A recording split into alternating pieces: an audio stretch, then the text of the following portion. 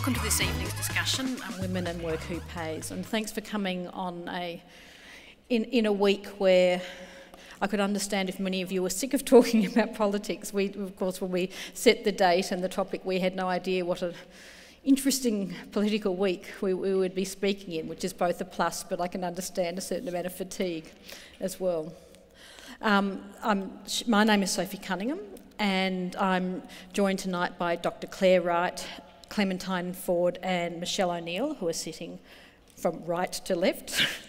um, but before we, we get underway, I'd like to um, introduce the Melbourne City Councillor, um, Dr. Cathy Oke, who, who's going to speak to us briefly. She's a scientist and environmental consultant, which means I assume she has quite a few things she could say about what's happening at the moment, even though I'm not sure that tonight's the night.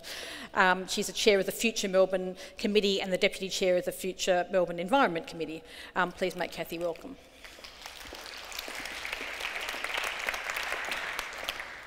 Thank you, Sophie. Yes, I've only got two minutes, but I'm sure I could speak for five hours on tonight's topic. Um, thank you for coming along and, and, thank you to our guests for, for being here tonight. I think it will be a, a, very interesting topic and as a new mother returning to work myself just last week, it is a topic I really wanted to make sure I was here to listen to. But before we get underway, I would like to acknowledge that we are meeting here tonight on the land of the traditional owners, um, the Kulin Nation, and pay my respects to elders, both past and present. Um, as Sophie's already introduced our guests, and I'm sure you'll hear more about them later, but thank you once again for taking part in tonight's Melbourne conversation. And, um, and, as already been noted, it is an interesting week, um, and I will leave it to the panel members to make a comment on what, you know, what message it sends to our community to have one woman in, in cabinet. Not that local government is perfect. Um, across Australia, less than 30% of councillors are women. 20% um, of women are employed in senior executive roles in the local government sector.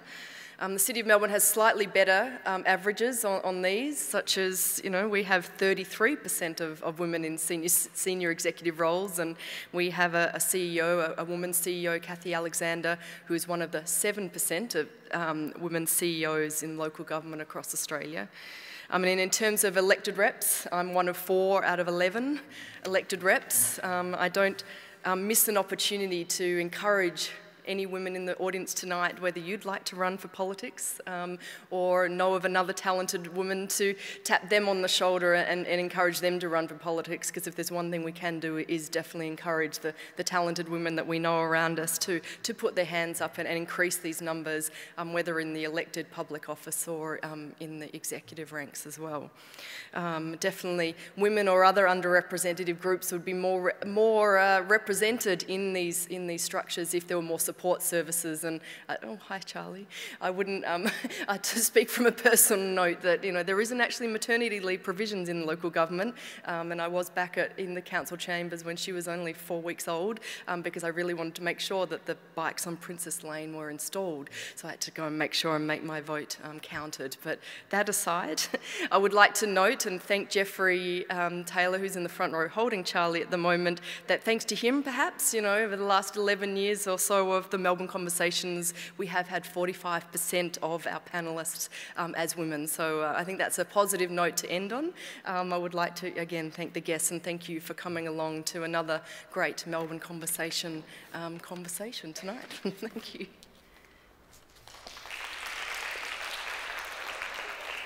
Thanks, Councillor. Um, 45% is impressive. 33% does tend to be the magic number at which the ceiling seems to kind of sit, and then we'll talk a little bit about that later on when we, um, if we get on to issues of, of women on boards and, and, quotas and those kind of issues. So tonight we um, wanted to, we talk about women and work who pays, and everyone likes a pun, but I suppose the concerning thing is that it's not just, um, we're not just talking about issues of equal pay, we're talking about more profound issues that affect women in the workplace, um, even though pay is, is absolutely part of it. Um, I want to introduce my guests in, in more detail. Um, Clare, Dr. Clare Wright, um, she is a historian who's worked as a political speechwriter. Uh, she's a university lecturer. She's a historical consultant and a radio and television broadcaster. Her first book, Beyond the Ladies' Lounge, um, on Australians, Australia's female publicans garnered a lot of attention at the time. She researched, wrote, and presented the ABC documentary Utopia Girls, and she's currently writing a four part series to commemorate the centenary of World War I for ABC. She's working on two other books Eureka, Sex and Power, and The Pursuit of Freedom on the Victorian Frontier, and if you're interested to know more about that book, they're, they're brochures on at the front table. You could grab them when you go. And she's also writing a book called Ned Wood: True Adventures in Kelly Country, which is co authored with historian Alex McDermott. And I think that partly grew out of, a, of an essay that I published many years ago, didn't it? Um, it was an essay that I particularly loved about Ned Kelly's passion for a much older public barmaid, really, a, a, much older woman, and we all, you know, I found that quite interesting. Um, Clem Ford, who is going to be speaking to us, is a writer, broadcaster, and troublemaker. That's her own descriptive. It's probably a fairly accurate one. And also a t-shirt, making a range of t-shirts, which she might also display for us later on. She has a background in feminist and social commentary, pop culture, um, anecdotal memoir, and biographical feature. And you, she's writing fairly regularly for Daily Life, among other um, media outlets and Michele O'Neil, who is the um, National Secretary, Textile Clothing and the Secretary of the um, Textile Clothing and Footwear Union of Australia. She's represented women in the textile clothing and footwear industry for more than 20 years. She's a member of the ACTU executive and an executive member of the global union body IndustriALL. She's an activist for women workers and asylum seekers. So it's a really fantastic range of, of speakers tonight. And I'm very pleased that they um, all agreed to, to, to join me in this conversation. I don't plan to say a lot before we leap in, as I really want our speakers to set tonight's agenda. But I did want to note that the timing for tonight's conversation is um, significant. Um, two days ago, a new Prime Minister and his cabinet were sworn in. Only one of those 19 ministers is a woman, and there are only six women amongst the 42 leadership roles. And this is the most male dominated executive in recent history. And what can be seen as an act of revenge against Julia Gillard's misogyny speech, Abbott has appointed himself as Minister for Women. Um, the only positive in that, as Anne Summers has noted, can be seen at least the um, um, Office for Women is now placed in the Prime Minister's office, which traditionally has meant that that um, portfolio receives more attention, though whether that is actually the case, I think, is yet, yet to be seen. Um, the, the, the, the um, commentary over the last few days about um, the cabinet has, has raised several times, well, many times, on um, issues of merit. And a lot of commentary has been saying that gender shouldn't be a priority and that skill set and experience are what considered most important. But I don't think there's enough discussion of what merit actually means. And it also assumes that all the male ministers who have been appointed have merit, and certainly some commentators are taking issue with that, and none of the women that missed out had it. Um, I'm quoting Ben Eltham from New Matilda um, on this. He says, as more than a few commentators have observed, including senior women in the Liberal Party, such as Senator Sue Boyce, the women might be knocking, but the door seems firmly shut. Experienced junior ministers such as Susan Ley and Marise Payne could easily have been brought into the cabinet. Talented, talented backbenchers like Kelly O'Dwyer could have, been, have, have found roles as parliamentary secretaries. It's not as though this was a cabinet chosen on merit. And he goes on to kind of detail the, kind of expertise of the various ministers. Um, one of the appointments that I'm particularly concerned about is, in, is um, the, the fact that the new Minister for Employment is Eric Abetz um, and that there is no Minister for Industrial Relations, and that also is very relevant, I think, to the, um, to the role of women in the workplace, or workers in the workplace. Um, and um, but I would say, um, in response to Chris Bowen's comment on all this, um, he, he, made a, he noted that the outgoing Rudd ministry had six women in cabinet, and that's good. But he went on to say the Cabinet of Afghanistan now has more women in it than the Cabinet of Australia. And I don't think that kind of smugness is hugely useful when we do love focusing on how we're better in these matters in another country and then being terribly surprised when it seems we're not better. And I think the point is that we quite often get it wrong and that we're not as removed from the global politics of these things as his statement implies. Certainly, I'm hoping Michele will elaborate on this, among many things, that the, the um, the global nature of these kind of politics. And I didn't want to overly focus in, in talking about what's happening in cabinet. I wanted to make the point that um, that the things that happen at that level and at a policy level do have a trickle down effect and do affect all women. I'm not just concerned about um, the fact that some senior women in the Liberal Party may not have got jobs, that I think it, it says something much broader about our, our culture. And feminism is not just a middle class issue and concerned about uh, the working lives of women who are working at that kind of level. Um, that characterisation of feminism is just one way of dismiss dismissing a movement which, um, after many years in abeyance, is actually developing real traction, which I assume is why it's, it's creating a lot more aggression, or a lot more aggression is being aimed at feminists in, in recent months. Um, and so, while historically, particularly at the end of the 19th century, middle class women had more time to do activist work, uh, which might be where some of that kind of um, why people do kind of dwell on that particular aspect of feminism. I don't think it's sort of useful or meaningful. But certainly, one of the reasons why the, um, I have so many concerns about um, possibilities of decisions that might be made in the upcoming government is that we haven't really recovered from the Howard years. By we, I mean women's and women's rights and workers' rights. And there was a very considered rollback um, um, over many years. Uh, and, I, am not going to detail them all here, but certainly um, childcare was um, 850 million was taken from childcare between 1996 and the year 2000, which had a huge impact on women's working lives. One of the um, initial impulses behind this was all, um, talking about this subject was actually um, Anne, Anne Summer's statement that if Julia Gillard that, that Julia Gillard had been effectively bullied in her workplace, then that she was bullied out of office in some ways, not simply by the opposition but by members of her own party. In her gracious concession speech, Gillard said that her gender doesn't explain everything, it doesn't explain nothing, it explains some things. She also said she hoped she'd made things easier for women to achieve power in the future. Um, I'm not. Sh- I'd like to share her optimism, but I, I don't. Um, I was very struck by the fact that on September the seventh, election night, when names were being bandied around about a possible new who could be a new leader for the ALP, Tanya Plibersek's name, which was racing around social media like wildfire, wildfire, was not mentioned once by commentators. Um, certainly on the ABC, which was the channel that I was watching and I really got the very strong feeling that the feel that um, the implication was, hey, we tried out a woman once, it didn't work. Um, just a couple more figures I'll throw your way before we leap in. Um, women currently receive um, an average of 17.5% less than for doing equivalent jobs to men.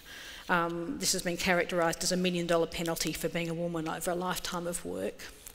And while arguments have been made and could be made that this is, um, reflects women's lack of negotiation skills, it, that, that kind of characterisation of the issue doesn't take into account that women often start um, their first job, they're often paid less than their male colleagues, say in the law, I know that happens. So you, are always negotiating from a, from a lower base.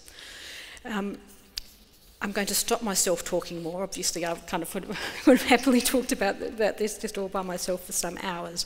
But I would like um, Clare, Dr. Wright, now to come and talk to us to create some historical context, even though I also know Clare would have much to say about contemporary issues as well.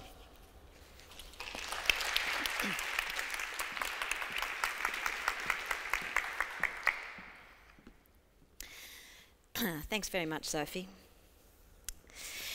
It's indeed a timely week to be having this public conversation about women and work. As Sophie said, with the most preeminent national workplace, our federal parliament, convulsed by the incoming government's decision to appoint only one woman to cabinet. Now, there's already been miles of newsprint and acres of cyberspace devoted to analysing that decision, with renewed calls for quotas, discussion of the concept of a meritocracy, and a whole heap of mixed metaphors involving glass ceilings and knocking on doors. as Sophie has suggested, it's tempting to use this platform to put in my own two cents worth, but I've been asked to speak to you this evening in my professional capacity as an historian, not as a commentator on current affairs. And I should note that I'm very grateful to Sophie for thinking to give an historical perspective on a contemporary issue of great importance and relevance, because this is all too rarely the case. But it does leave me with a dilemma. I have about seven minutes, six now after that waffling preface, to give you the lowdown on over 200 years of Australian women's participation in and relationship to the workforce. And that's only European and other immigrant women, to say nothing of the way that Indigenous Australian women worked to grow, shape, and maintain their land, their local economies, and their families. So perhaps I'll begin by telling you what I'm not going to talk about tonight. I'm not going to tell you about the 19th century female factories in New South Wales and Tasmania, where an estimated 9,000 convict women worked for no pay to manufacture commodities like spun wool, cotton, and linen, on which the new colonies relied for both domestic use and export. An 1827 riot at the Parramatta Female Factory over a cut in rations and poor conditions is considered to be the first industrial action staged by women in Australia. When the Parramatta Female Factory was closed in 1848, the building, interestingly enough, was reassigned as a lunatic asylum. And I'm certainly not going to tell you about an incident at the Cascades Female Factory in 1838, when the inmates of this forced labour camp were being lectured on morality by a visiting preacher. Growing weary of his cant, a witness recorded what happened next. The 300 women turned right around and at one impulse pulled up their clothes, showing their naked posteriors, which they simultaneously smacked with their hands, making a loud and not very musical noise. It might have been the first recorded instance of, um, what's it called? No, not twerking. No, not mooning either. Oh, you know, you've done one. Um, the flash mob. Might have been the first flash mob, literally. I also won't tell you about the Tailoresses Association of Melbourne, Australia's first female trade union, which was established in 1882. The association formed after attempts by a Melbourne clothing manufacturer to reduce piece rate wages. A strike involving over a thousand women was held early the following year. And this strike is generally accepted as instrumental in the eventual passage of the Factory Act. Nor will I discuss the remarkable Louisa Dunkley, daughter of a Catholic bootmaker from Richmond, who entered the Postmaster General's Department in 1882 as a junior assistant and was soon working as a fully qualified telegraphist. Telegraphy was one of the first technological industries that was open to women. Concerned by the injustice in women's pay rates in the Victorian public service, Louisa organised and presented a successful case for equal pay to the Post and Telegraphic Department in 1895, in an age when women's work in the public sphere was being dramatically curtailed. You'll recall that this is the era of the marriage bar, which would in fact last until 1966. But how many of you would know that the marginal Liberal seat of Dunkley in Melbourne's outer southeast was named after Louisa in recognition of her work as one of Australia's pioneering union officials? And I wouldn't think to mention the part that suffrage campaigner and anti war activist Vida Goldstein played in the establishment of the famous Harvester Judgment of 1907, which paved the way for the establishment of the basic or living wage in Australia and was one of the hallmarks of the newly federated Australia's famed reputation as a working man's paradise. In establishing what was a fair and reasonable wage, Justice Higgins was influenced by an article that Goldstein had recently published on socialism. That article persuaded Higgins to allow working men and women to give evidence as to their usual living expenses, including the price of newspapers, books, alcohol, public transport costs, and life insurance, to name a few. These hearings in turn led to Higgins settling on a minimum wage that would keep a man and his family in reasonable and frugal comfort, denying employers the ability to, quote, withhold from his employees the reasonable conditions of human existence. Now, I've only just entered the 20th century, but I hope as it's becoming apparent, I could in fact stand here all evening and list the things I'm not going to talk about.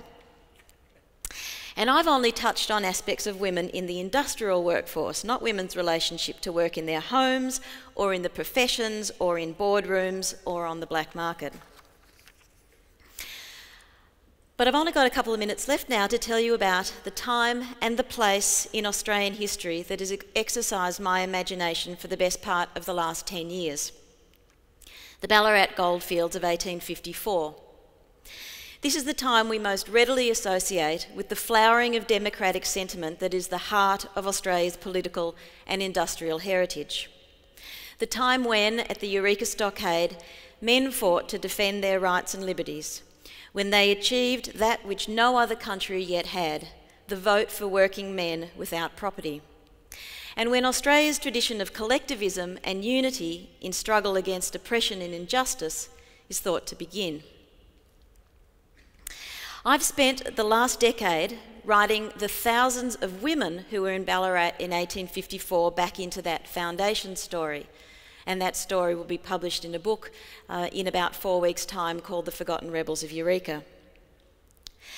Reconfiguring, what I've been doing is reconfiguring the gold mining community as young couples and working families, not individual men on the make identifying and documenting the remarkable women who were leaders in the people's movement against government corruption and taxation without representation.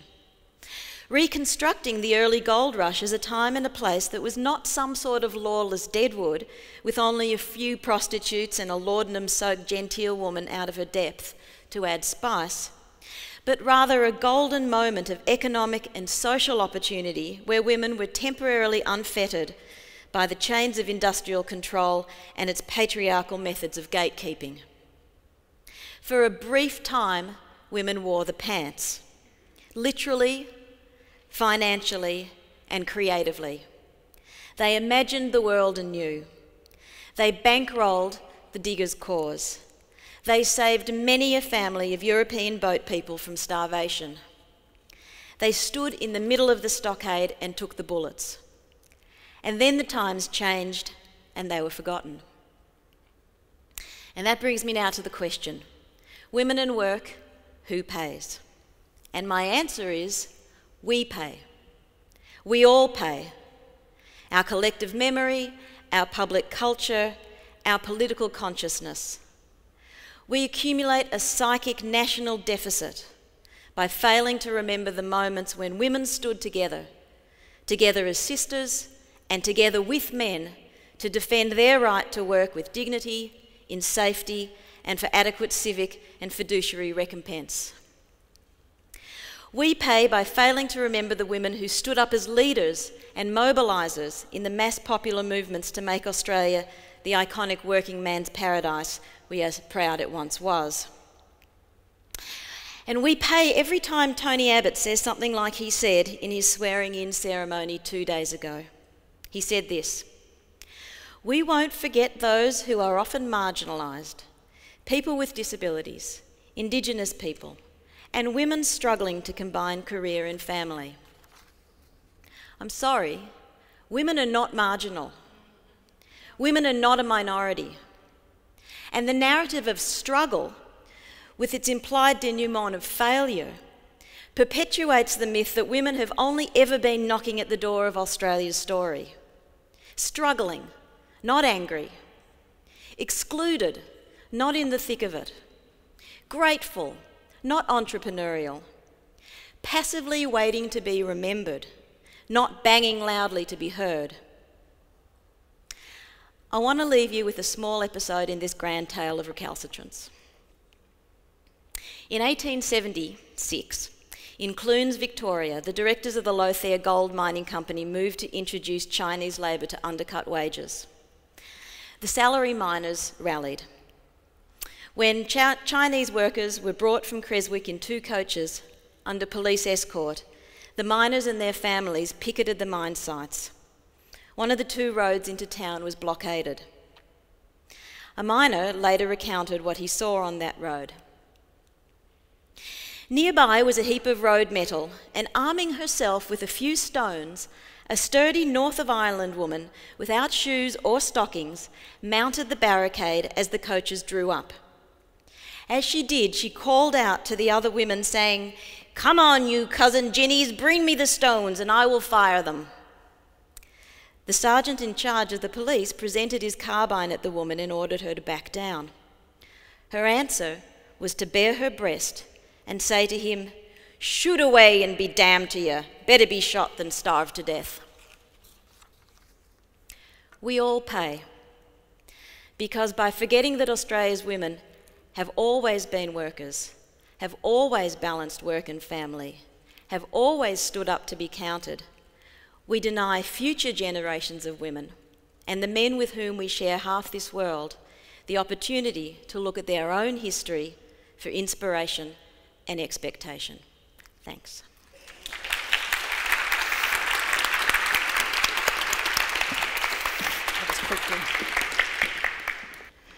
And now Michele is going to. I asked Michele originally to talk about um, globalisation and the female workforce, but I do know that um, current political affairs are also might be something she'll want to touch on. Thanks, Sophie. And I also want to acknowledge the traditional owners of the land we met on tonight, the Wurundjeri people of the Kulin Nation, and pay my respects to their elders past and present.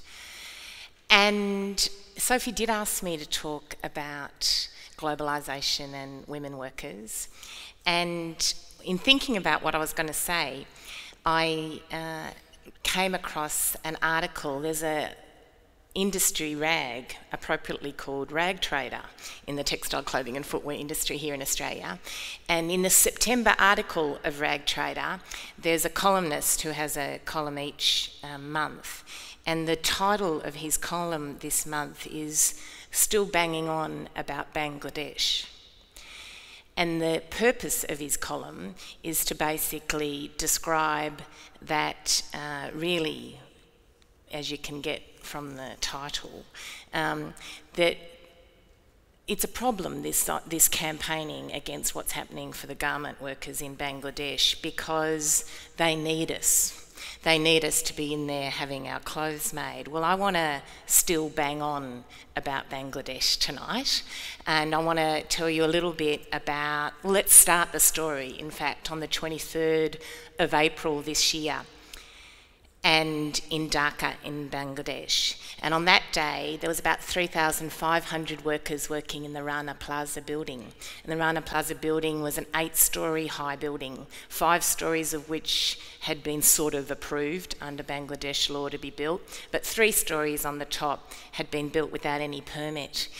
And the mainly young women workers who worked inside Rana Plaza were, came from villages around Bangladesh into the city to try and earn what was, if they were receiving the minimum wage, 38 US dollars a month for the work in those five factories. Now, the bottom couple of floors didn't have factories in it, there was a bank, there were some shops. And the 23rd was the day that the workers noticed the cracks in the pillars that held up the building. And it was during the afternoon that people actually got sent home. They got taken out of the building, and there was some sort of inspection done. The next morning, the workers turned up on the 24th and were a bit nervous about going outside, inside. But the owner of the building was there, and as were the managers of the factories, and they assured the workers that the building was safe, that there'd been inspectors that had checked it out. The owner said, I'll go in. And uh, the workers were still very nervous about going into that building, but under the threat by the bosses that they would lose a month or two months' pay, and in some cases on the basis of being beaten with sticks, they went into work when they were in there, it was by about 8.30. Commonly in Bangladesh, the power doesn't last and the power went out. And in this building, there were many generators that were used for those circumstances. So the generators started up. So imagine it's hot, it's steamy, it's dim, there's not very good lighting, and it's really loud, and the place vibrates. Workers were sitting at their machines watching the cracks grow on the walls and it was only a very short time later that the building collapsed around them. And those mainly young women Uh, we now know 1,133 of them died that day, uh, more than a thousand more really seriously injured. And by injuries, you've got to also remember that for those that survived, many survived on the basis of their co workers having to amputate their limbs to get them out. And they used, they made, they were ingenious, they made makeshift slides to get out of the upper areas, out of the material that they'd been sewing. So we can't talk about women and work in the world today without starting with the women workers of the Rana Plaza in Bangladesh. And some jobs I know are life threatening. You think about it, there's people that go to work every day knowing they're doing a job that at some point they might put their life at risk. Think about our firefighters, courageous workers who know the sort of work they do um, means that they'll face that sort of risk. But really, in 2013, do you think you should risk your life sitting behind a sewing machine making our clothes?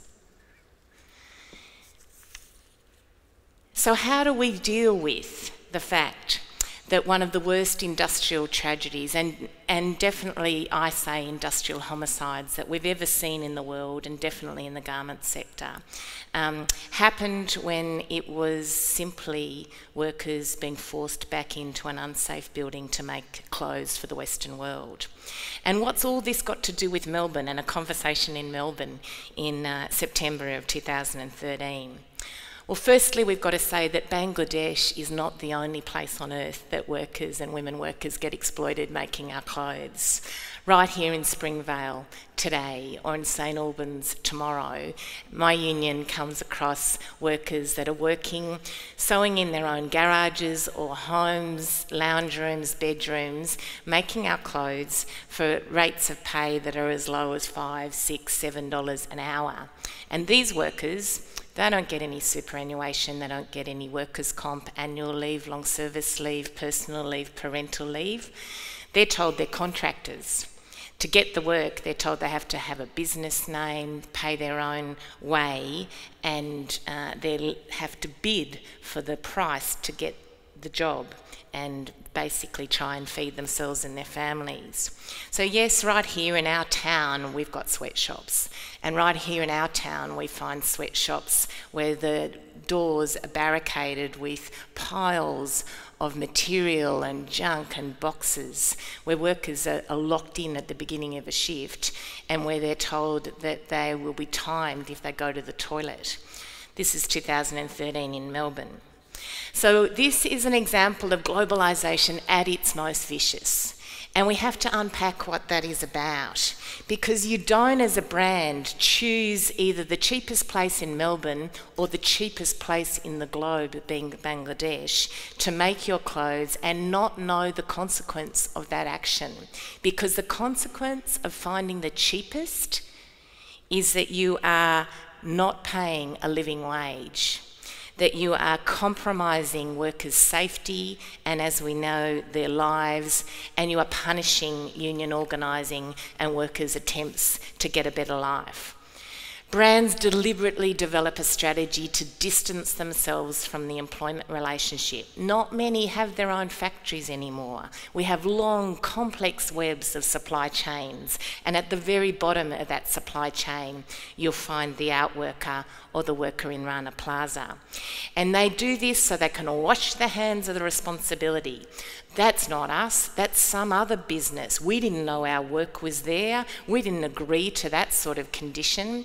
Well, don't be fooled because it's their product, it's their profit, it's their responsibility globalization in this industry has this now converse effect where the more that a business's value is its brand, and we know that, we, we're shoppers, we see how much value we place in brands and the premium that people pay for it. But the converse effect that the more the value is in the brand, the more likely that that brand has done to distance itself, has taken real efforts to distance itself from those people who actually make the product and that brand. And there's something perverse, something really perverse about seeking our loyalty as consumers to a brand at the same time as having no loyalty or responsibility to the people that actually make the product. Or even more starkly, that you want to increase your profits, that you actually want to have a huge markup and have all of the benefits that come with what is, in many cases, quite obscene profits and profit margins based on finding the lowest possible wages, the worst conditions, the youngest, poorest, ununionised women. So, what have we got? We've got brand power on the back of the poorest who have the least power. So, yep, I'm still banging on about Bangladesh. And I'm a unionist, and the role of unions is really important in this because I honestly believe that if on that morning of the 24th of April, if those workers had been unionised, and if they'd had some leaders amongst them who had the confidence of the other workers to say, no, we're not going in, then those lives would have been saved. Because what I know from my experience of unionism, from the struggles that you heard Clare speak about, is that it's only through that sort of collective strength, that collective action, knowing that you're not alone, that you won't be singled out, that you're not the only one, that you can actually overcome fear, that you can fight back, and that you can win, and that you can, in this case, save lives. So, unions often get a bad rap and my union often gets criticised for talking about the horrors of this industry instead of talking about its greatness. Well, I love this industry. I love fashion.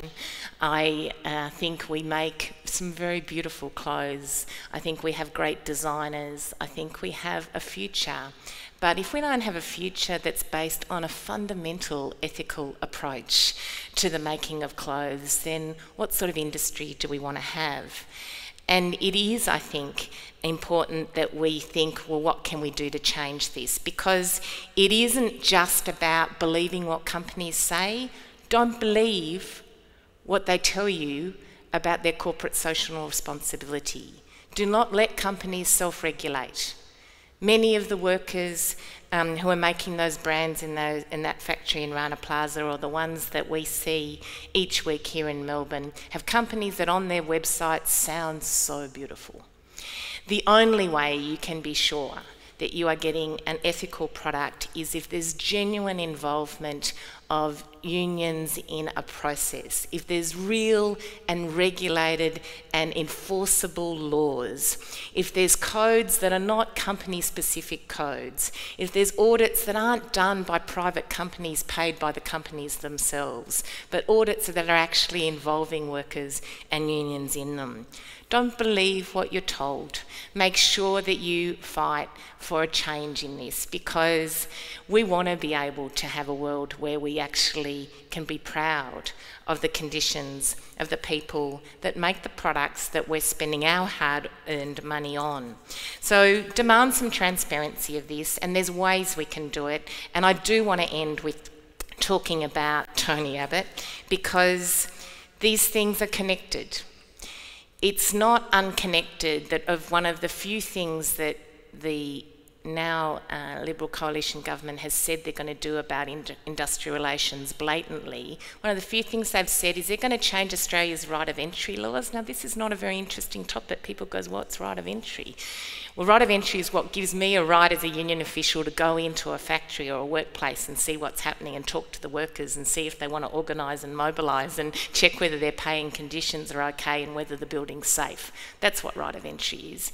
And he's going to change it so that right here in those sweatshops in Melbourne, instead of us being able to walk in the door and see what's going on, uh, will only be allowed, unions will only be allowed in workplaces if there's members already in there and if then an individual member says, I want my union to come in. Now put that in a sweatshop and imagine how hard that is. What courage that will take. They'll do it. There's some extraordinary, courageous, fantastic, inspirational uh, members and workers um, uh, members of my union and workers here and around the world in this industry. I don't have to talk about the, uh, the fantastic um, women who, in fact, are the mothers of my union that you've already heard from Clare, who struggled in the 1880s here, or the women who fought um, on the streets of New York for better conditions after the Triangle Fire, or the women who are fighting now in Bangladesh for changes in laws and rights. We know they're there, we know they're strong, and I reckon in 2013 it can't be a job at any price. It's not too much to ask for a living wage, for a safe workplace, and for a bit of dignity. So I'm going to still bang on about Bangladesh. Thanks.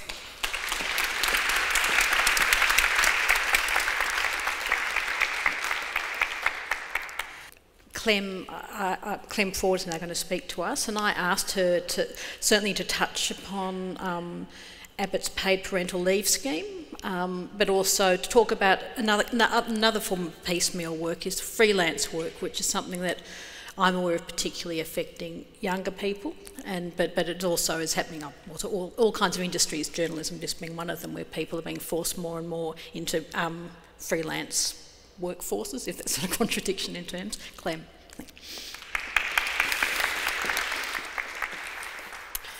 Thanks very much for that, Sophie. And um, I am wearing one of the T-shirts that I made post the election. It says baddie. It's in reference to uh, Tony Abbott's incredibly in-depth assessment of the situation in Syria. And I was going to make a little joke when I came up here about how, because the orders were so overwhelming, and I'm not a retailer at all, and I don't really understand how to organise my life either. And I was going to make a little joke about how my living room's been turned into a sweatshop.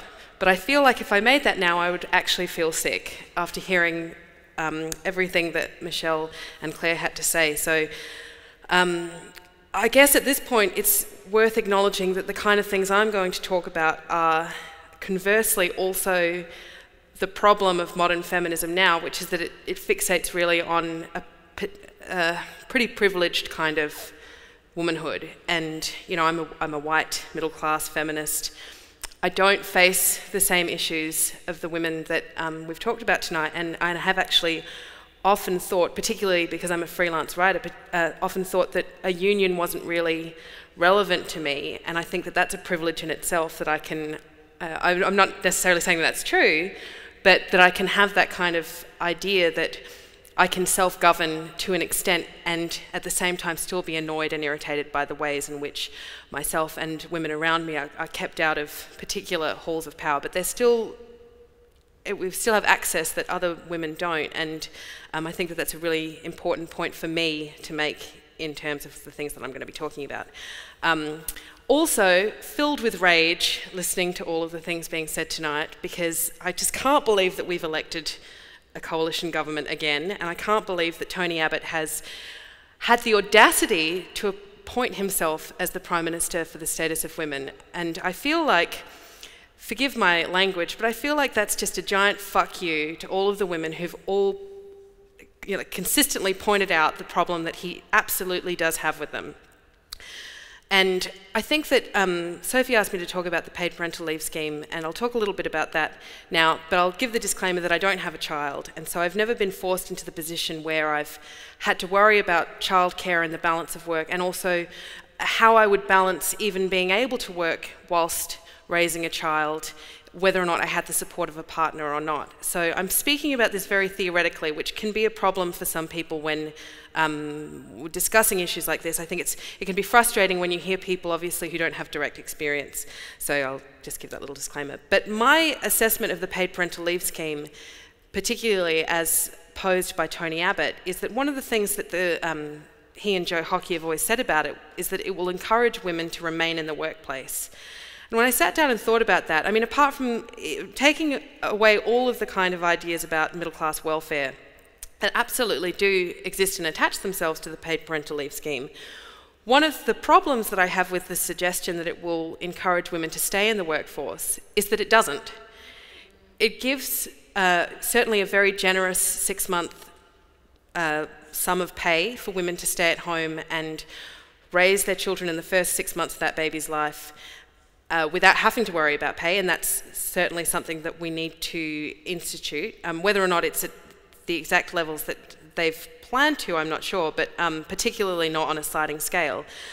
But I think that what it actually does is it encourages women to stay at, at home once that maternity leave scheme is finished. Because this isn't a scheme that really addresses, even though the, the coalition mentioned quite consistently not the middle class women and middle to upper class women who would benefit most from this scheme, but consistently mentioned women who would be working in cafes or in retail jobs um, paid by the hour, uh, cited those women as being probably some of the primary beneficiaries of this paid parental leave scheme because previously uh, such a scheme has been denied to them in terms of being able to keep their jobs for six months. Um, but the people who are really targeted by this scheme are the middle class women who are so often forced into a position of saying, well, is it worth the money for me to spend on childcare to go back to work once that maternity leave scheme is finished? When you're talking about women who are earning up upwards of $100,000 a year, or you know, to $150,000 as the scheme is capped at, you're really talking about women who've been uh, mostly, not in all cases, but mostly supported by um, class, privilege, education, networking to be able to access jobs that pay such exorbitant salaries. And I think $150,000 a year is quite exorbitant for anyone. Um, so the, the, idea that they would stay out of the workforce once a child is born is not really something worth addressing because in some cases maybe, but I would contend that most women who've worked to that point will figure out some way possible to stay in the workforce and also have the financial benefit of being able to hire private care for their child. Women who are below a certain salary bracket are probably not in the position where they can negotiate being able to stay out of the workforce, particularly if they're single mothers because we don't have a welfare system that benefits single mothers, and both the previous government and this current government are taking money away from single mothers and single parents. So that's kind of not really something that um, is going to be addressed by this scheme either. This is a middle class, this is a, a, a targeting middle class women who when you talk about childcare and going back to work, the consistent reply that you hear from a lot of women is that we balanced up both of our salaries and we realised that it wouldn't make sense for me to go back to work because I was only bringing home $20 a week after the childcare was paid for. And so I think this is a really key point about the women and work who pays. That when it comes to childcare and when it comes to women remaining in the workplace, it's assumed on a, on a deeply kind of socially unquestioned level that women pay for the childcare, that the um, the exchange for them being entitled to go back to work as opposed to staying at home and doing the real job of taking care of, the, of her child in this instance is that she be able to bring in enough money that will justify that. And this is something that's not often questioned by a lot of people because it's really easy to do the maths and say, well, I don't understand. If the, you know, the other parent is bringing home $50,000 a year and she's bringing home $35,000 a year, it doesn't matter whether or not you take it out of both of their salaries because it's all still the same money in the end. But it's not the same money. People still earn their, earn their own separate salaries. And apart from the fact that it's really, really important for women and, and, historically has been vital for women to be able to gain financial independence in order to, to have their own self determination and their own independence and escape from situations which may be violent or abusive, um, it's not her responsibility to pay for the childcare, regardless of whether or not at the end of the day the sums all end up the same. And this is the idea of who pays. That the childcare is still considered to be very much the realm of the woman. And her right to work is contingent upon whether or not she can sort out something that's financially um, sensible for both parties. The right for the, for the, and most often in this case, the right for the father or the male to work is never in question. So I think that that's really something that needs to be exposed about the paid parental leave scheme is that it's not designed, as the coalition claims, to keep women in the workforce, but it's designed to bring middle class women out of the workforce. And uh, as Tony Abbott has even said, in conjunction with saying that it's to keep them in the workforce, he is hoping that it will result in a baby boom. So this is very much a regressive policy that looks very flashy and nice with lots of money, but actually is designed to pull women out of the workforce. And I think that then that goes back to the rageful kind of decisions that have been made this week in terms of the cabinet. And um, I'll just check the time, how much I've got left. So I'm trying to speak quickly. Um, the, the idea of merit, and I'm sure that we'll talk a little bit more about this when I sit down, but the idea of merit is also something that's trotted out as just an accepted fact. That, as Sophie mentioned in her opening um, speech, women are assumed to have to prove their merit to become part of any kind of system of power. And it's not just women who are expected to prove their merit, it's marginalised groups. And I know that women are not a marginal group, they are treated like a marginalised group. And the people who exist out of the dominant power structure are always the ones who are expected to demonstrate their right to break into it. The people who exist in, in, the power structure never have to demonstrate anything, and they never have to answer to the fact that that is never about merit, but always about reward and about um, helping each other up to perpetuate the dominant structure. I mean, how else can you explain Barnaby Joyce on the front bench? This is basically a system that said that Barnaby Joyce a man who two years ago said that uh, he opposed same sex marriage because he knew that the best protection for his daughters was for them to get into safe marriages with men. I don't even know what that means. That he is more meritorious than six other women. I, I no, I'm, I'm not saying that necessarily those women should be on the front bench, but they shouldn't be kept off the front bench because they haven't proved their merit in a system that has historically always favoured white heterosexual men of most, mostly of privilege. So this idea that merit is somehow uh, automatically attached to people's elevation into power is completely ludicrous. And we never ever ask the people who already experience the privilege and the power to demonstrate that they have the merit to be there in the first place. I think that probably ties in the two ideas pretty well, and uh, I will sit down now. but I did just want to say quickly that I do agree with Sophie about that, that meme about the cabinet of Afghanistan now has more women, because I don't think that it's ever helpful to compare um, systems in which women are being oppressed or discriminated against because you're taking a voice away from those women as well. And my favourite meme personally was the one which said that Voldemort's women, Voldemort's cabinet had more women in it than Tony Abbott's. So maybe we can go with that.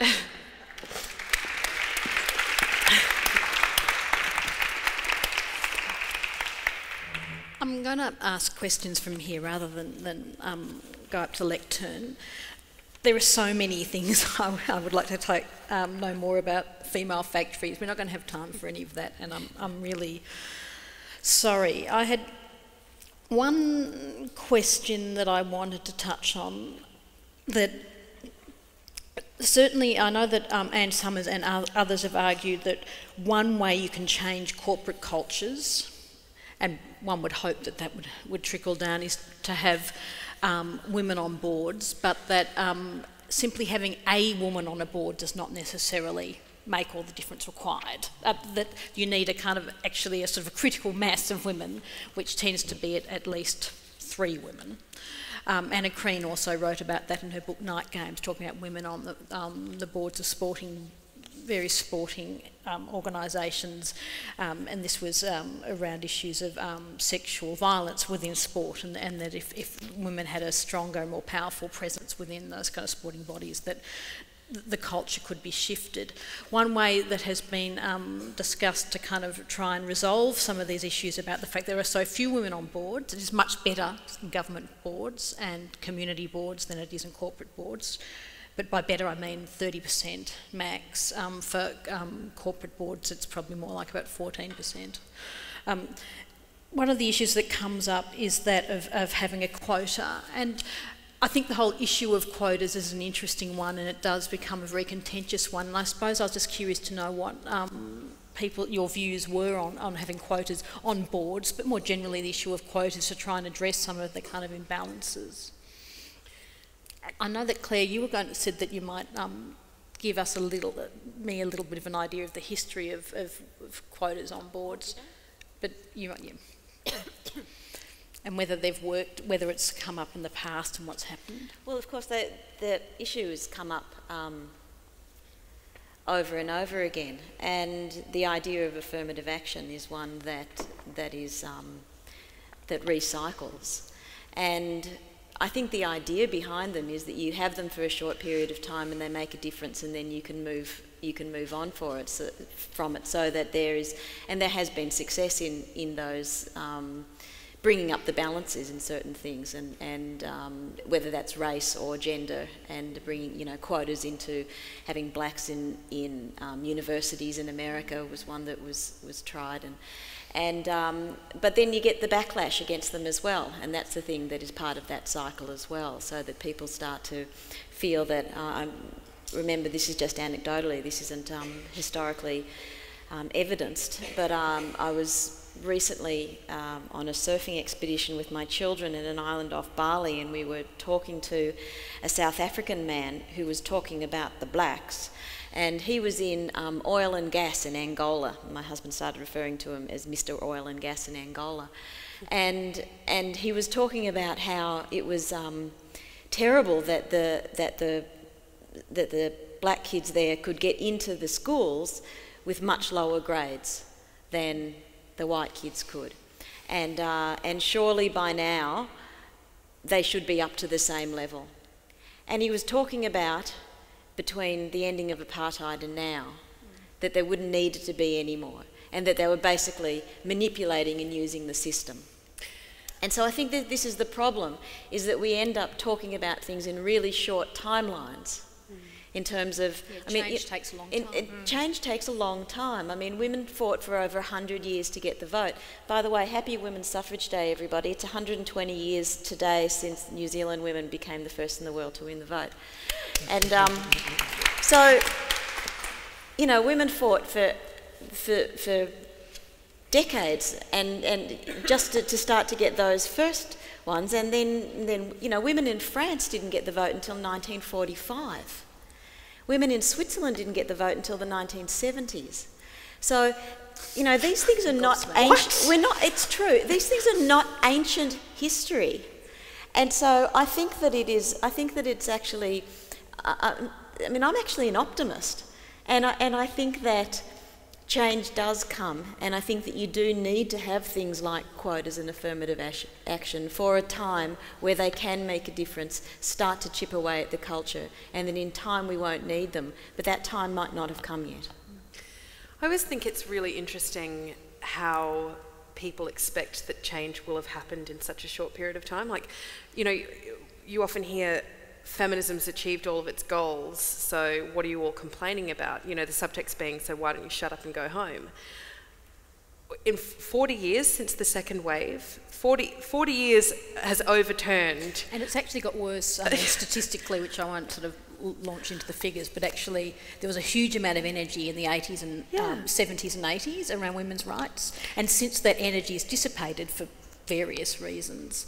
Well, it's the, much the figures easier. have got worse. It's much easier to pretend that equality has been achieved now because so much of it has been legislated. It doesn't mean that you know you can say that women are supposed to be uh, earning the same amount of money, but it doesn't mean that that's actually going to happen.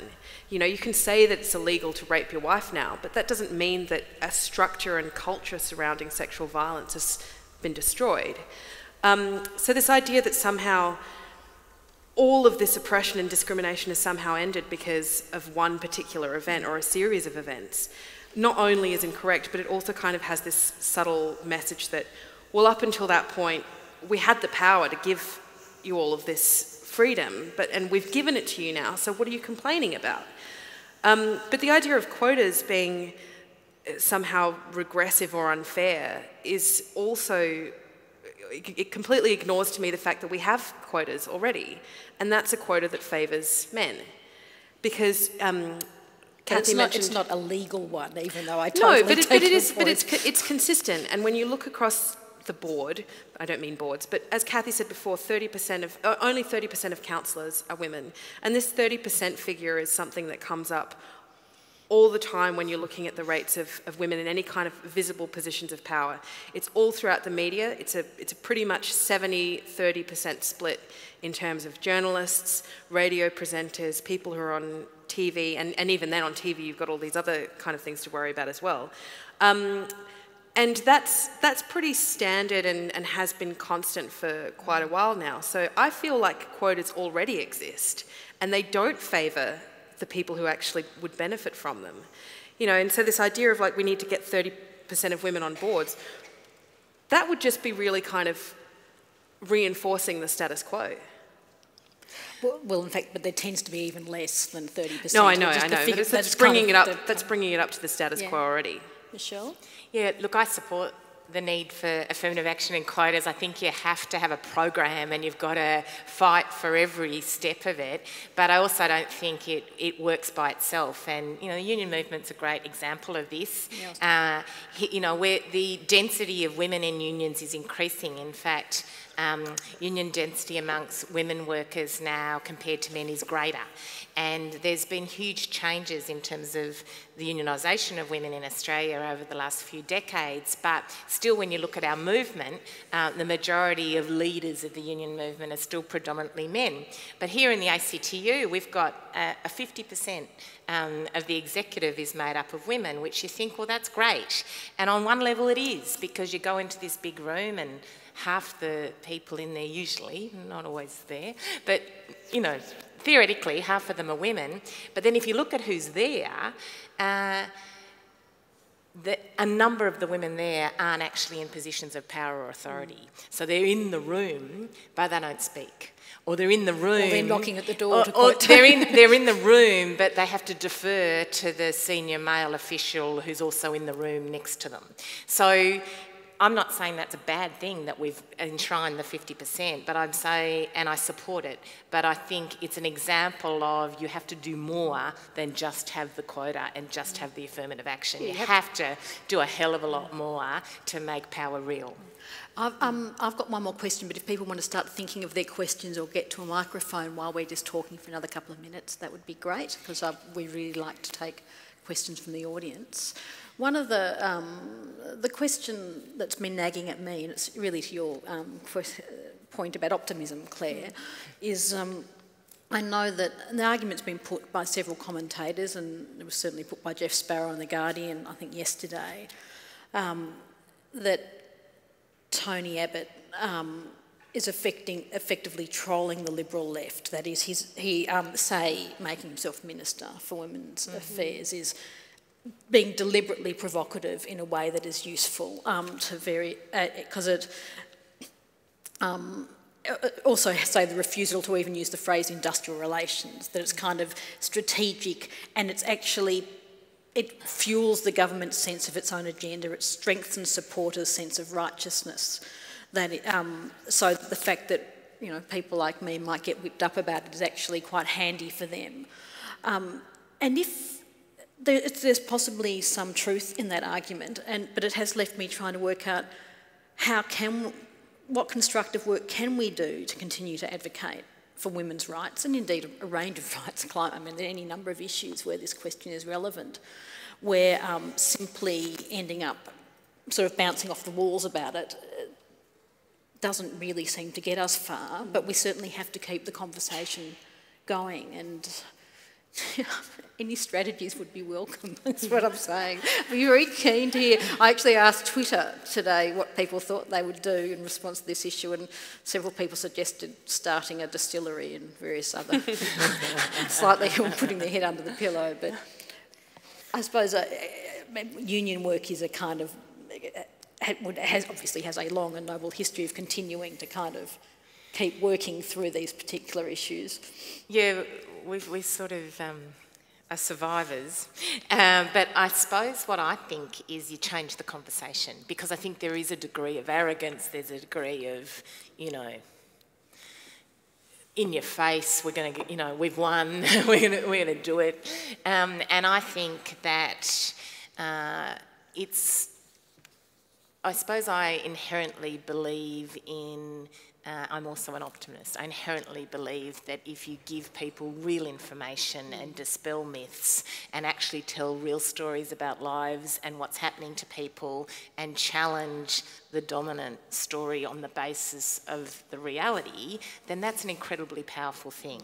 So I suppose I'm less interested in sort of, and we actually had an interesting private conversation about um, thinking that part of the psychology of our new Prime Minister is he gets off a little bit on people's mm. sort of Yeah, being, you know, being affronted um, by him. So I sort of think, don't give him that power in some ways. Like I, I challenge the argument, challenge the the facts, uh, and and I and I, you know, this has been a great issue around asylum seekers, of course, in the previous government as well as this one. Part of the great shame we have of Australian leaders is that they weren't telling the Australian population the truth or the facts, um, and instead people are allowed to. Um, you know, wallow in what is just lies about the reality of what's happening in our borders mm. and the number of people that are arriving by boat and the potential threat of that. So I actually think the great power is changing the conversation, mm. changing the rules of the debate, and not engaging where he's trying to get us to engage. I'd also say it's about changing who you're having the conversation with, not just the conversation. Mm, I mean, yeah. the thing that um, that I feel least optimistic about is some of the um, ways in which we now communicate. Uh, because I think Twitter and Facebook um, are echo chambers and we end up bouncing back to the same people who already think what we think in the first place. And, and the more that you actually step outside of that, you realise um, that, you that you are in a bubble and that people don't think the same as you. Mm. And I'm increasingly um, come, I think that technology is wonderful on one level because it does, it has democratised so many forms of communication, but on another level it's added to a form of, um, of isolation and atomisation of society. And I'm actually coming much more around to the sort of things that you're talking about, Michele, in terms of, of collectivism. I mean, if you look at the ways that women have historically changed things, it's by acting in large groups, in unison, and, and working to mobilise large forces of women together mm. to push for the same agenda and to push for change. And, and I think that's where we have to be consolidating our efforts uh, because I'm optimistic actually that, that, um, that, that Abbott and his government could implode through this form of conservatism because I don't think people voted for them to do this stuff. I think he shut up for as long as he possibly could and now he's got to talk. Mm. Um, and they just let the Labor Party implode around them because they knew that that was going to happen. But I don't think people voted for this. And, and you know, in Victoria, when Joan Kirner's government was wiped away in a landslide and Jeff Kennett came in, he only got seven years. Mm. He hmm. destroyed a lot of stuff, but it wasn't, it wasn't a generation. It wasn't a lost generation afterwards. Mm. Oh, sorry. Oh, sorry, no, Clem, Oh, no, I was just going to say that's my optimism as well, that now that Tony Abbott, there was a lot of talk about how the coalition ran such a disciplined mm. campaign. It was disciplined in the sense that they never let him speak, you know. Yeah. Um, and I have a negative idea about, I think that unfortunately, and maybe it's part of that echo chamber thing, maybe it's not I think that we live in the kind of society where a lot of people aren't necessarily interested in facts. Mm. And they say things like, well, no, I don't reckon that that's true, when you mm. actually present them with a fact. And then when you challenge them on it further, they say, well, I'm entitled to my opinion. And you're like, but your opinion is not based on facts. On the flip side of that, my optimism came from looking at the numbers of uh, who didn't lose their seats in the election. And I think it was much less of a landslide victory than was expected. And whether or not that is a reflection of the actual mood of the electorate or just uh, evidence that the media can't dictate mm. what that mood is. I'm not sure, but I think that, that mm. that's something to take heart from is that it's not quite as bad as maybe well, we thought. I, I think yes and no. They didn't have a landslide because they got rid of Gillard. Yeah, and, and, and I they also knew that. So that's that's not that heartening. And a Labor government getting well, in wouldn't fix, wouldn't, wouldn't, fix some of these broader issues no, that we're no. that we're talking about as well. Um, but do we, do we have any questions? Good evening, ladies. My name's Elizabeth, and um, I want to shamelessly plug an organisation I actually represent. It's called Behind Closed Doors. And, um, and the reason I'm here tonight is because you talk about women on boards. Mm. The premise of the organisation is to actually get more women on boards in terms of raising the profile of women and in leadership positions. So that's what it's actually about. Interesting. I had a conversation today with uh, a very dynamic entrepreneurial lady who has grown her consultancy business. She's came from a corporate environment, branched out on her own now, and she said, "There is no glass ceiling. I don't believe there's a glass ceiling." And it's it, and it's, which I thought was an interesting because we keep hearing this all the time. And I said, "What do you mean by that?" She goes, "Well." It's only a perception. It's, it's, to me, it's just a myth. It's because she I've never, I've never come up against any men stopping me to do what I need to do. And so I, that really got me intrigued in terms of thinking about, you know, these things that we keep reinforcing in, in our own language, and we keep perpetuating the glass ceilings. We have to knock on the door. But are you well, saying that women are perpetuating the glass ceilings? Well, maybe we, we are. Maybe we need to rethink: is there a glass ceiling? I mean, you know, you, you hear does it really exist, or are we creating that for ourselves? I mean, you know, I just I thought it was just curious how she sort of reflected there is no glass ceiling. I thought, oh, that's interesting, considering you keep hearing this glass ceiling thing I all think, the time. I think one of the reasons that I mentioned in my talk that, um, say, on issues of, with, with pay gaps, um, that some people say one of the reasons women don't, aren't paid as well as men is that they um, don't negotiate as hard, which is to your point. Um, but in fact, certainly, and this was a few years ago, um, women who were starting as lawyers in New South Wales at most major law, um, corporate law, um, law firms were often being paid quite substantially less than men who were starting on the ground floor. And I think if there actually is a kind of structural equality, equality like that, simply being more assertive and savvy and sassy doesn't in itself, while it, those qualities can end up being useful in the workplace, they don't actually resolve those but, those yeah. which I do. I suppose I do think there are structural issues that it's not just about attitude. Well, and there's always going to be people who there's always exceptions, and I don't think that one exception or even a handful of exceptions because they've experienced personal. Um, evidence that this doesn't exist for them, I mean, we're not looking at all of the other things that may be contributing to that success, and that might be education, uh, class income bracket in the first place. I feel like those arguments not only completely discount all of the many women who are not benefited by those things, but are also incredibly selfish because they assume that one person's success is representative of what everyone can achieve. As if, it just goes back to the merit argument, as if merit is something that, as if merit is what actually drives success in the world, and it's not merit, it's who you know and how much they want to reward you. But it's also about the sort of jobs women do. Yes. Because predominantly women in Australia are working in casual, part time, short term, insecure work. And so if your employment doesn't have any permanency about it, if you don't have any security of employment, if you don't know how many hours you're going to work one week or whether you've got a job the next, then the notion of sort of climbing through the ranks and getting to a ceiling is just not part of your life because you don't even have the first element of job security that allows you to think about a career path or a, or a climbing through something to hit a ceiling. So I just think for a lot of women in Australia, uh, leaving aside where we are globally, uh, the type of work we do in itself structurally creates a problem about your capacity to um, get into more senior positions or representative positions or leadership positions and earn more money. It was Equal Pay Day the other day. I think that it's got worse. It's 17.8% now, the difference, um, and that's gone backwards. So and that is partly about the structural shifts in the labour market, mm. which again we've seen a huge increase in that casual insecure work, and that's women workers. Also, I know there's been quite a few interesting articles recently.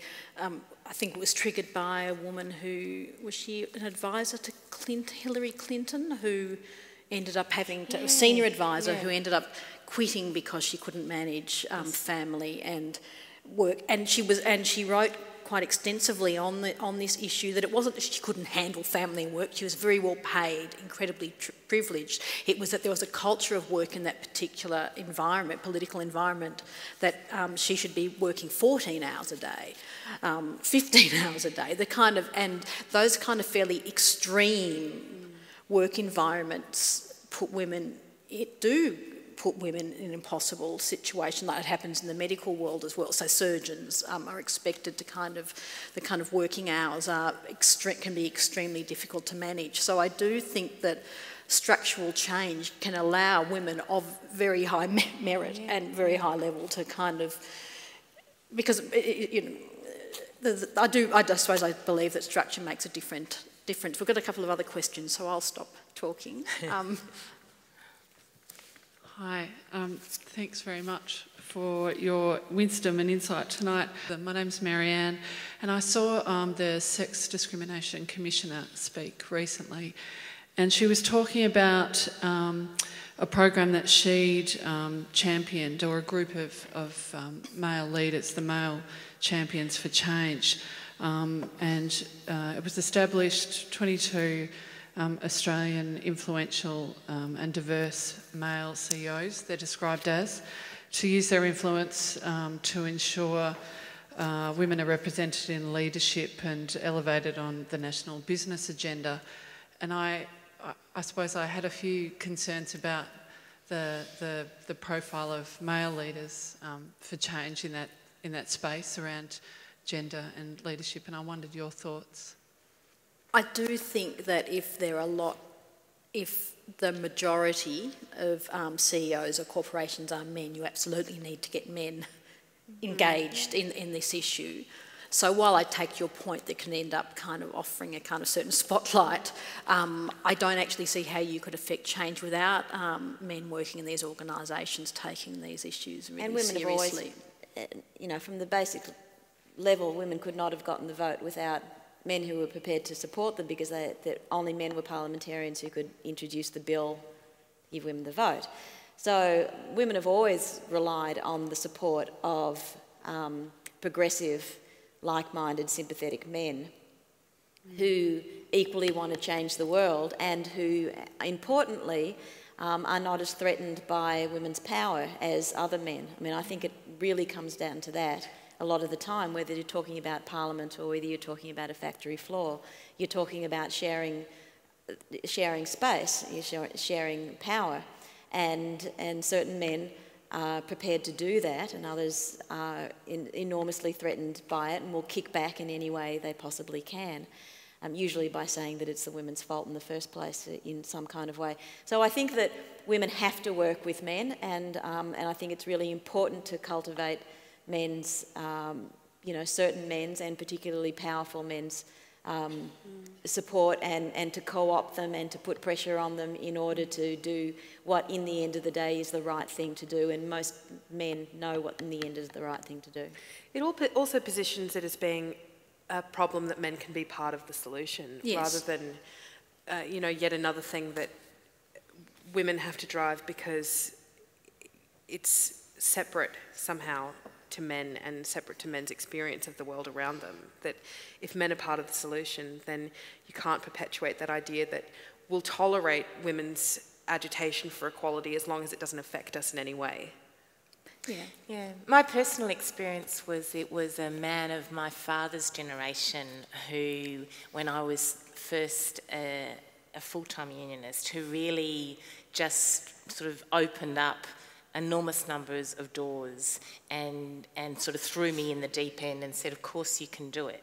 So I suppose just from a very personal level, the fact that, you know, he was a very traditional man of his generation in the blue collar union movement and that he was able to sort of cut through what was the prevailing view of a lot of other men about the role of women in unions was hugely important. So I, I think it's really important that the good guys get active. And also, I think you can't always assume that, um, say, um, women CEOs are always going to be on side either. I mean, it cuts, cut, cuts yeah. both ways. I think you kind Absolutely. of have to um, yeah, would, I'd be very interested to see though what happens and, and kind yeah. of get some sense of what, of what these men actually do. Then I'd probably have a clearer sense of how to how to respond to your question. So I was just curious um, your opinion on with the past election. You touched on uh, the Labor loss. Um, do you think if Julia wasn't ousted, um, would it have been much worse? For Labor, because as Tony made gaffe after gaffe, I just kept wanting to see this sliding doors version of the campaign, and I just thought surely that would have galvanised women and perhaps things wouldn't have been so bad for Labor. I wonder what your opinion is. Uh, my opinion is that it absolutely would, would have been much worse for Labor with, if they hadn't uh, gotten rid of her. So I think Labor's choice was whether to um, salvage some uh, electoral dignity or to galvanise themselves around a principle that was sticking with the leader who they really knew had the most merit. And, um, and I think it was, you know, terribly, terribly difficult um, decision that I wouldn't have wanted to be one of the people having to put my hand up in the, in the caucus room. I'm not sure that I, I think I disagree. I don't necessarily think it would have been better, I don't, I, I, but I, I think that um, the, the only time it would have made a serious difference would have been in those first few weeks. If Rudd had um, managed, had called the election immediately, and when he was on, hadn't kind of started to fray at the seams, I do think it could have made a big difference. But I actually think he left the problem, the crack started to show because of the decision to kind of delay the election. And I think that Gillard would have ra- rallied some of her kind of support Mm. in the way that you suggest. I don't think it would have been great. I don't think you can divorce. Sorry, No, no. I don't think you can divorce the individual from the party. So you've got to look at what happened at the election before. Yeah, So if if Julia had been the leader, but you still had the destabilising effect of Kevin Rudd and the disunity, then no, I don't think she could have done better. But if you could imagine that they actually had a, a unified party that were behind her and supporting her skills and Maybe, capabilities, yes. then that's a whole different story. So you can't, it's not just about the individual. You have to place the individual in what else was going on in that party. And so I don't, I, you know, this is going to be a debate forever, isn't it? Um, I don't necessarily agree that it would have been much worse. Um, I think that it, um, it, it could well have been similar, but there's a lot of ifs and there's a lot of things about how the party would have behaved and, and given its huge split um, and lack of capacity for a sort of unified um, response behind a leader, you know, it was always going to be tough, wasn't it? I do. I certainly don't agree though, to your comments, Clare, that, that when Anne Summers was saying that the women in the cabinet should have resigned. I certainly don't agree with that. I mm. agree that they had to mm. make whatever decision they felt they mm. needed to make, and that you would have actually been left in a worse situation. So I certainly didn't think that um, it should have been that that Wong or Plibersek should have been characterised as traitors to some kind of feminist sisterhood. I didn't think that was an appropriate at all. response. I think that, um, uh, you know, I've got an enormous amount of respect for Anne Summers, but I, I disagreed with that as well. I don't think that the solution to getting rid of one woman is getting rid of all of them. All falling on this. And I also think that it's, uh, I know that this isn't what anyone has been saying tonight, but I think we have to be really mindful and careful of how we talk about the possibilities of what might have happened had Julia Gillard remained in the lead- leadership. Because it's so easy to cross over or to, to reinforce to those people who might think that it had something to do with her being the leader and not to do with the culture that surrounded her and the culture of not just of the party but the culture of the response to being given permission to attack a woman in power. And, and maybe it's not quite as simplistic as that, but I think that um, it's, it's uh, really difficult for people who aren't used to questioning their motivations for things to recognise that, the, that there is a difference between the way that they might have spoken about Julia Gillard and the way that they might speak about a male politician who they dislike. Because a, a lot of what I heard from people was, you know, well, it shouldn't be sexist just to say that you don't like the Prime Minister because she's a woman. And I think that a lot of people manage to equate somehow in their head that being critical of Julia Gillard as a leader uh, or sorry, being critical of a man as a leader was the same as being critical of Julia Gillard as a leader and calling her a bitch and a witch, and Larry Pickering drawing cartoons of her naked with a strap-on dildo preparing to fuck the president, uh, the head of the RBA. You know that. That You know, some- there's a sexualised kind of nature, explicitly gendered nature to the kind of abuse. And I think Yeah. Anne Summers says um, The Misogynist Factor is a good book for people to read if they haven't acquainted themselves with those details. Can I I'm just, sorry. Can I clarify one thing there? Because uh, um, I'm not saying that the Labor Party should have gotten rid of her. I'm saying that I do agree that it would have been much worse um, electorally. But I actually personally would have liked to have seen them rally around her hmm. and say, well, we're going to go down, but we're going to go down swinging because because we believe in her and we believe in what she's done, we believe in her program, but I also, we believe in, in what she's done over the last three years. We think that she's a fantastic leader, which she was. which she was. And, well, she Tony, clearly was. and certainly her- say and her- Tony Windsor's speech was very, very clear about that, about kind of... I would um, have, yeah. was- Ideally, I would have loved to have seen the whole party rally around her like that, but I think that with Rudd still there and the, and the fact that she had, had um, taken the position that she had in the, in the way that it happened in the first place. I think a lot of things stemmed from that. And I think that it was unrealistic that they were probably going to do anything else. But that's not what I would have liked to have seen happen. I just want We've- to clear that up. We've actually, no, I didn't actually think you were saying that that was what you wanted, but um, we have actually come, come to the end tonight, and I would, there are several people I want to thank. I obviously want to thank Clare Wright, Clare, Clem Ford, Michele O'Neil. I want to thank Leslie Cannold, our tweeter. And I'd like to thank Jeff Taylor, who um, organised, did a lot of the organisational work tonight, who, who um, runs Melbourne Conversations. Yeah. Claps all round. Thank you.